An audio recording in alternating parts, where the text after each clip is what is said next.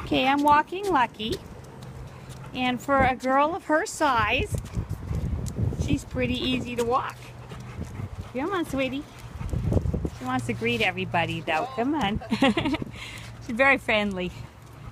Good girl, Lucky. Very easy. That's my girl. So, Steve, I think she might be a candidate for you. The cruiser class. Lucky. Good girl. Good girl.